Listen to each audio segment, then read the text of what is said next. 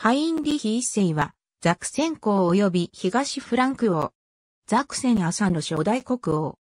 それまでのフランク王国において行われてきた分割相続の慣例を廃し、世代を超えた永続的な国家領域を形成する基礎を築いた。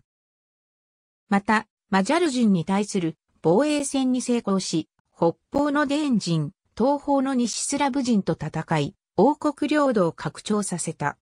父は、ザクセン人の部族大公で、リウドルフィング家のオットー貴顕公、母は、バーベンベルク家のオストマルク東方辺境伯、ハインリヒの娘ハトヴィヒである。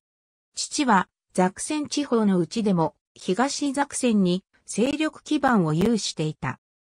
一方、母方のバーベンベルク家はフランケンにおける主導権をめぐり、チューリンゲンのラーンガウ伯のコンラディン家と抗争を続けていたが、906年に決定的な敗北をし、その結果フランケンの大公位は、コンラディン家のコンラートが確保し、バーベンベルク家は衰退し、オーストリア公のみ確保した。この年、ハインリヒは、東ザクセンのメルゼブルクのハクエルビンの娘、ハーテブルクと最初の結婚をし、この結婚により、メルゼブルクを含む莫大な嫁子を得た。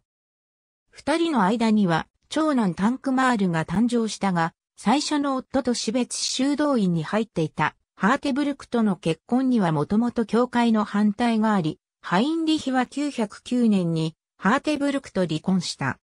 しかし、ハーテブルクの嫁氏はタンクマールに相続させるとして返還しなかった。ハインリヒは同年のうちにウィドキントを祖とするイメリング家出身で西ザクセンの伯ディートリヒの娘マティルデと再婚する。ハインリヒはマティルデの美しさに見せられ、ハーテブルクを修道院に放り込んだと言われる。この婚姻により、ハインリヒは北ドイツ中枢部における権力基盤を固めることになった。二人の間には三男二女が生まれる。911年9月24日、東フランク王国のカロリング朝最後の王ルートビヒ4世が死死を残さず死去したため、11月10日に東フランク王国の有力貴族らは、新しい王として、フランケン公コンラート一世を選出した。オットーとハインリヒフ氏が率いるザックセン人もコンラートの即位自体には賛成したが、これに服従することを拒絶し、またチューリンゲンにおける領有権をめぐって、フランケン人との間で武力衝突が続いた。912年11月30日、父オットーが死去し、ハインリヒは行為を継承するが、東フランク王コンラート一世はこれを承認しなかった。両者の間での紛争は続き、ハインリヒは東フランク王国からのザクセン独立の動きも見せた。結局、915年にゲッティンゲン近郊のグローナ城において和平協定が結ばれる。ハインリヒは国王から正式に皇位継承を認められ、さらにザクセンにおける国王の権力行使が名目的なものに止まることの確約を得た。さらに、918年12月23日に国王コンラートが死去した後、ハインリヒはコンラート一世の弟エーバーハルト三世から帝国権票を受け取った。これはコンラート一世の遺言に基づくもので、国内最強の大公であるハインリヒを次の王として推挙する意思の表明を意味した。919年5月、フランケンとザクセンの貴族がフリッツラーに集まり、戦王の遺言通り、ハインリヒを新国王として選出した。国王はフランク人からという伝統に反し、初めてザクセン人であるハインリヒが新国王となることで、東フランク王国は大きな節目を迎え、ドイツ王国の成立へと向かっていくこととなる。ハインリヒは919年に即位式を行うが、皇位聖職者による問いを拒絶した。即位式における問いは、カロリング朝のピピン3世の即位式以来の伝統で、地上における統治権を神から授かることの象徴的行為とみなされてきた。ハインリヒの次以降の王は即位式における問いを行っており、彼だけがなぜ行わなかったのかは、議論の対象となっている。ハインリヒの国王即位について、シュバーベンとバイエルンの両部族は、国王選出には参加しなかった。そればかりか、バイエルンにおいては、バイエルン公アルヌルフを対立王として選出した。ハインリヒは、まず919年に、シュバーベン公ブルヒャルト2世から戦わずして、真珠の誓いを勝ち取り、次に921年に、バイエルン公アルヌルフを下し、両者から国王として承認を得た。921年には、西フランク王シャルルタン順王との間で、ボンにおいて条約を締結し、その中でハインリヒは、東、フランク人の王は、フランケン、ザクセン、シュバーベン、バイエルン、ロートリンゲンの5つの公領で構成されることとなった。ハインリヒにとって国内を平定した次に対処しなければならなかったのが隣接する多民族との問題であった。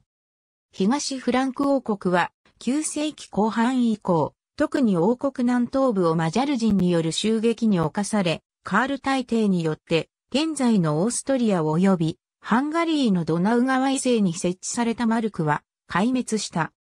マジャール人の攻撃は領土の拡張よりもむしろ戦利品の獲得を目的とし、また牙を使って移動するため国境付近の町だけでなく東フランクの中心部にまで及んだ。例えば915年にはブレーメンが被害に遭っている。しかし特に被害が多いのはバイエルン東部やザクセン南東部であった。前王コンラートはこれに対して有効な手段を講ずることができなかった。ハインリヒは926年に捕虜の返還と効能金の支払いを約束して、マジャール人と9年間の休戦協定を結ぶことに成功した。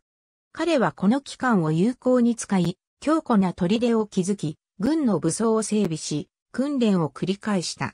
特に牙を用いるマジャール人に対抗するため騎兵の強化に力を入れた。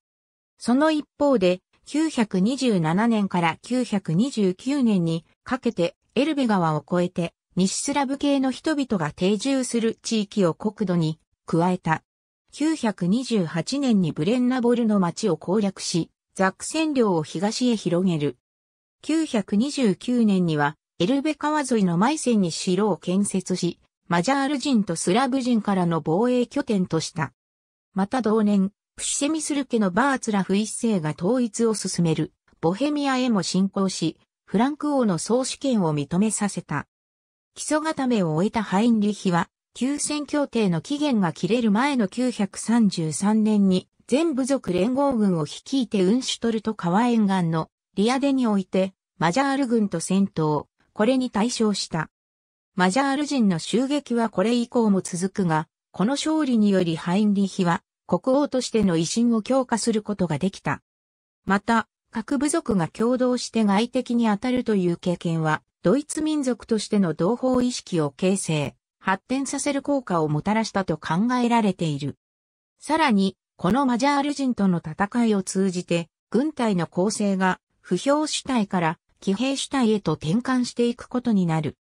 934年には、ザクセンの北側のユトランド半島へ進撃、かつてゴズフレズにより、大ザクセンへの防御目的で建設されたヘーゼビューでデーンジンを打ち破り、アイダー川とシュライ川とに挟まれた地域を支配下に入れた。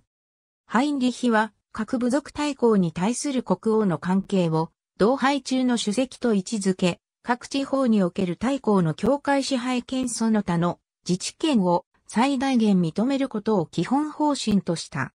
したがって、ハインリヒは、東フランク王国の国王としてよりも、ザクセン公として主に活動していた。ザクセン及び中林源の各都市の防御を固め、マイセンなど新たに攻め取った領土に多数の砦を築くとともに、ザクセン人の風神を入植させた。ハインリヒは929年9月16日、クベードリンブルクの王宮において、王位継承に関する王令を発布する。フランク王国では、複数の子がある場合は分割相続を原則としてきたが、ハインリヒはこれを単独相続に改め、分割による王権の弱体化を防ぐこととした。929年に次男オットーにイングランド王アゼルスタンのイボイモーとエドギタをめとらせた後、935年のエアフルトでの王国会議において、オットーを次期国王に指名した。ウィーン、ホーフブルク宮殿所蔵の聖ヤリノズ・ハインリヒは、926年にブルグントオールドルフ2世から東フランク王国南西端部にあたるバーゼル周辺の領土を引き換えにして聖槍を譲り受けた。ロンギヌスの槍とも聖マウリティウスの槍ともあるいは運命の聖槍とも呼ばれるこの槍はハインリヒ以降の歴代国王すなわちローマ王に受け継がれてハプスブルク家へと渡り現在、ウィーンのホーフブルク宮殿にある宝物館に収蔵されているものと同一のものとされている。ハインリヒ、そして彼の皇統は、東、フランクの部族連合軍を率いて、マジャール軍と戦う際に、勝利を招く礼法として、この聖、槍を陣頭に掲げた。世界遺産、セーセル・バティウス教会。ハインリヒはこの聖堂地下墓地に眠る。936年7月2日、ハインリヒは狩りの最中に卒中で倒れ、メムレーベンの王宮で死去した。彼の妻マティルダは、彼の死後、ザクセン貴族の娘たちのために、クベードリンブルクに女子修道院となるを創設し、初代院長となった。ハインリヒとマティルダは、この教会付属聖堂の地下室に一緒に埋葬されている。ハインリヒの指名は尊重され、次男オットーが国王に選出され即位するが、間もなく、バイエルンやフランケンの大公らと対立するようになり、大公らは、オットーの兄、タンクマールや、弟、ハインリヒを擁立して内乱になった。さらに、3年ほど、おとなしくしていた、マジャール人も、防衛体制が崩れた東フランクへの襲撃活動を再開した。補聴王の名の由来となった伝説の場面を描いたヘルマン・フォーゲルの1900年の作品。左の人物がハインリヒで、中央の人物が王冠を捧げている。狩猟を好み、王に選ばれたことを伝える使者が彼のもとに到着した時にも野鳥を捕獲するために網で罠を仕掛けていた最中だったという伝承があり、そのため、ハインリヒ捕鳥王とのあだ名が付けられた。狩猟王と訳されることもある。ヨハン・フォーグルの詩によるカール・レーベの歌曲、鳥刺し王、ハインリヒ・ハインリヒデア・ボグラー作品56から1は、この逸話に基づく。最初の日、ハーテブルクとの間に一男を設けた。マティルデとの間に三男二女がいる。ありがとうございます。